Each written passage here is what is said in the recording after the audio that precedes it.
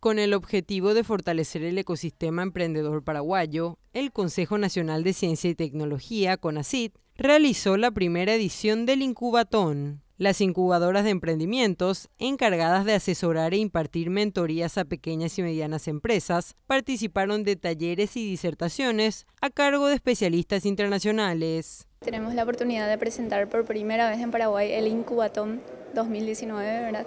El objetivo de esta actividad es presentar a las incubadoras y a los actores del ecosistema de innovación las herramientas utilizadas por un, eh, por un ecosistema más dinámico que el nuestro, ¿verdad? que es el argentino, y vamos a estar hablando de algunas metodologías utilizadas para el modelado de negocios y así también eh, la experiencia que ellos tienen con una red de mentores.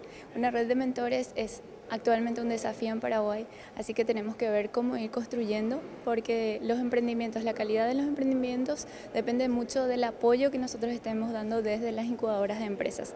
Así que ese es el impulso que el CONACIT está tratando de desarrollar eh, junto con otros actores, ¿verdad? impulsando este ecosistema que es incipiente pero que está prometiendo mucho.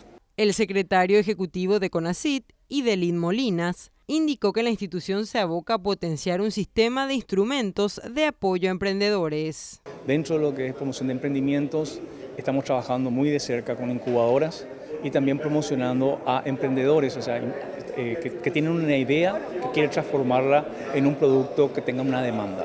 En ese sentido, hace falta no solamente una idea creativa, sino hace falta también tener un sistema de instrumentos de apoyo. Entre ellos están las incubadoras que brindan ese servicio, están los mentores, están fuentes de financiamiento alternativa y también Capital Semilla, que es lo que brinda hoy en día el CONACIT a los emprendedores. Como parte de la agenda del programa ProInnova, se habilitará más adelante una línea estratégica exclusiva para el fortalecimiento de las incubadoras.